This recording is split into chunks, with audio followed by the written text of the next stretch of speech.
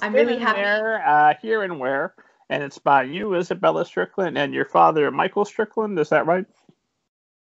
Yes, that is exactly right. And it is on Amazon, and we're putting together a couple of reveals. So, Uh, so please uh, give us kind of an overview. What do we need to know about then and there, uh, here and where? so uh, she, the main character, the protagonist, is a 12-year-old girl named Orabella, and she has ADHD and dyslexia because it's the normalization of that. If it's more reoccurring, then people understand that it's normal for people to have, and that people shouldn't be called different for it because it's not necessarily different. It's just everyone's different. So just getting used to it. Uh, so the 12 year old girl um, was just getting into high school because uh,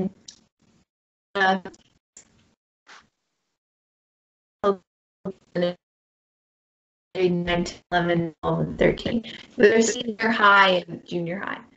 Um, so there's that, and she's really anxious about that. And then her parents disappear mysteriously, and then she has to go live with her grandparents. And there's this huge family secret about her past and what she has to become. And now I can't really say anything else because that's going to spoil what it's about. So I, I would love to, but I can't exactly say.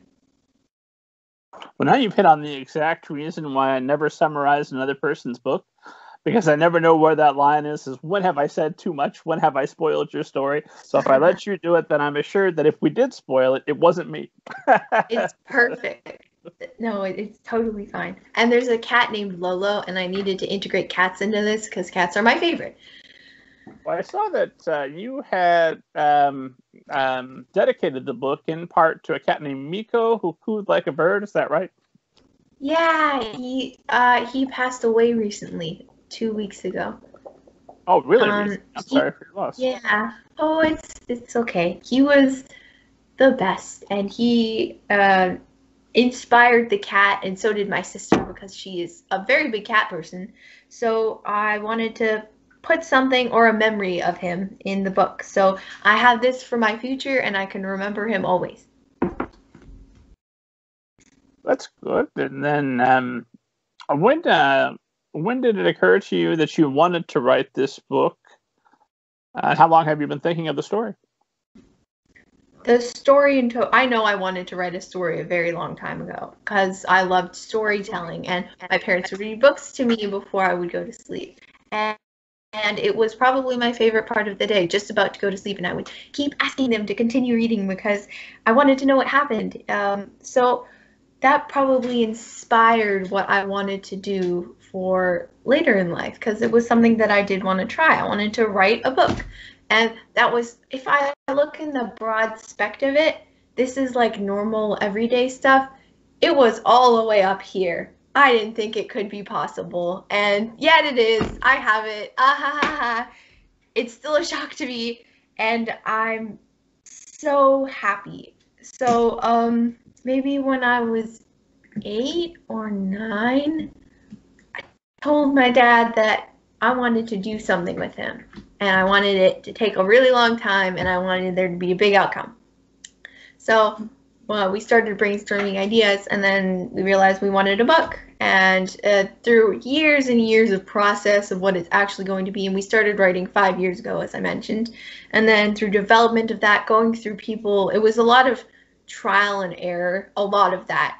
So it took about till last year to finally figure out the whole thing because cutting out a bunch of stuff was a big part of it. Because this book would have been very very big if we didn't do that. So i'm upset about that in that aspect. However over time and in the long run it's going to be better So do you remember how long the the longest draft of it was before you cut it down?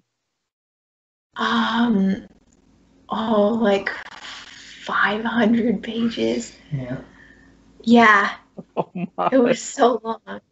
And we needed to cut it out. How many Like is two it books now? in one. Yeah, it was like two books. It was absolutely insane. How long? How many pages is this? Ah, 254.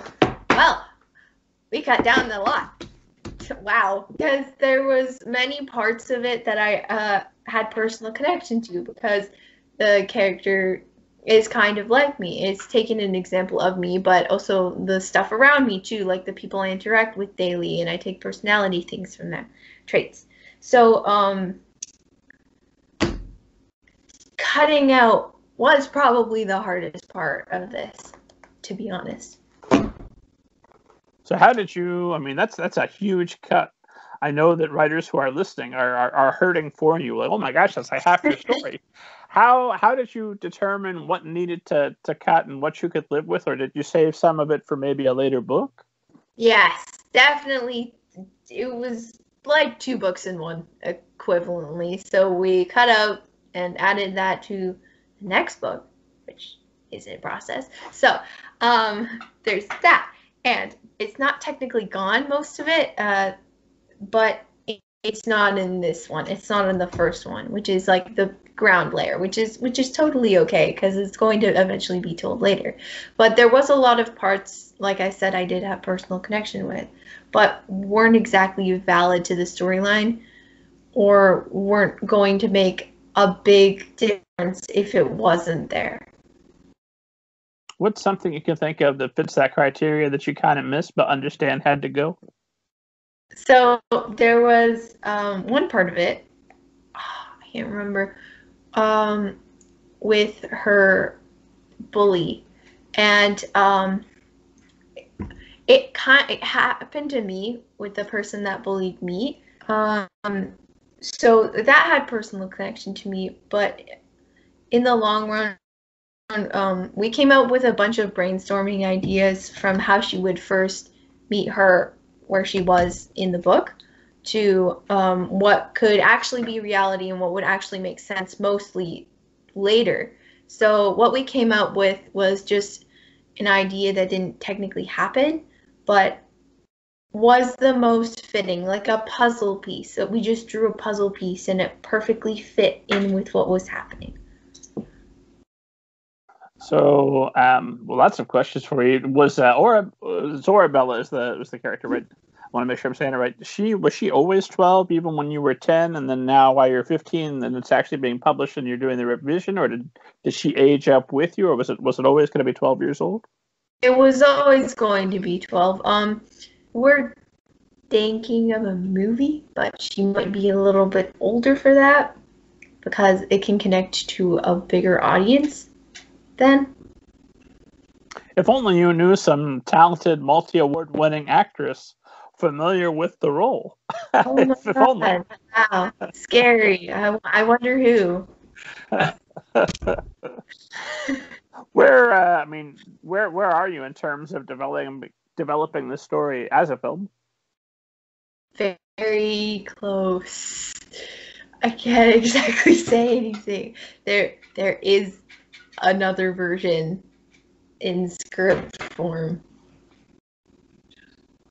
And oh, I won an award for it. My dad and I won an award um, for best script in fantasy and um, sci-fi, and then the whole thing itself. So it's in production somewhat, and I'm happy because now there's another version of it it's not just a book, it's an actual film.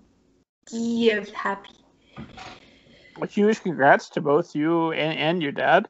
So, how does this uh, collaboration work? Do you start working on the story just you, and then your dad looks on what you're doing and say, "Hey, I'd really like to be a part of that," or had you always planned from the start we're going to do this together? And then, how do you decide who's going to do what? It was always teamwork. Um, uh, it, my dad researched a lot of it because I had school. That's a big part of my life. So it would be hard to focus on short periods of time for writing. So my dad would scribe for me because I would get a scribe in school sometimes when it became overwhelming to write because everything would kind of jumble. So um, there's that. He was a very big help for it, and it was always a team effort for this whole thing. And then, um, I mean, as you're writing, you're writing about a character that's a little bit like you.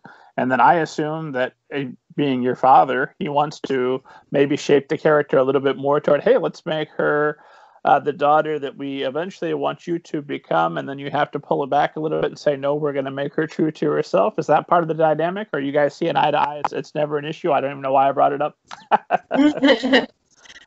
we usually see eye to eye on it because it is based off of both of our lives and uh, the characters in there. We take after people that we have met. And like i said it is a team effort completely because we both have different personalities um, and different writing styles. So i incorporate what i say into what he writes which makes sense kind of. I don't know uh, and then um, are you you're, you're planning possibly a sequel or a series? Have, oh, there is definitely a series. Hundred percent because there is a cliffhanger in it. I would be really mean to not finish it. Just saying. So, do you have a plan? Do you know how many books overall that you're going to start with, and then maybe expand out, or? There will definitely be three. Definitely be three. That we can expand out on different characters because there's a lot of ground that we need to cover for this. So if there's any demand for a story on the father or like backstory more. Gotcha. So I mean, you could be writing this until you're until you're thirty or, or beyond. I could retire at twenty. That would be funny. I think if anybody's on pace to retire at age 20, you might be the person. That would be really funny.